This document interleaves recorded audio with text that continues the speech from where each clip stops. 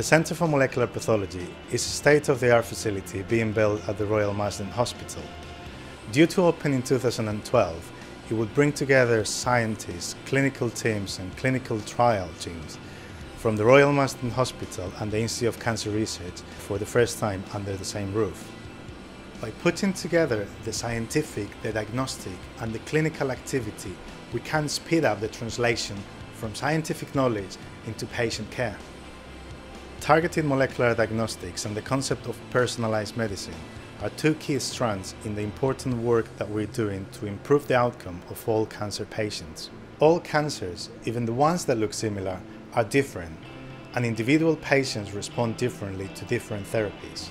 Today, we use molecular diagnostics to help us match each therapy to each individual patient. Tumors are different because they have different genetic mutations, and these mutations might make one patient respond to one therapy while the other patient doesn't.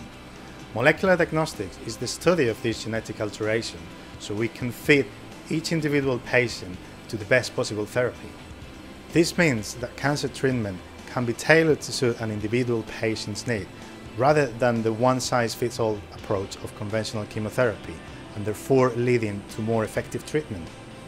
The groundbreaking work that will be done will revolutionize the treatment of cancer as we know it.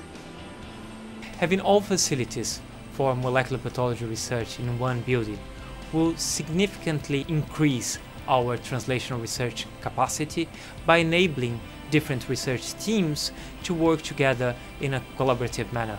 Each floor will hold a number of different teams and state-of-the-art equipment, which will allow us to assess the expression of biomarkers in a multitude of samples in a quick, reproducible and accurate manner.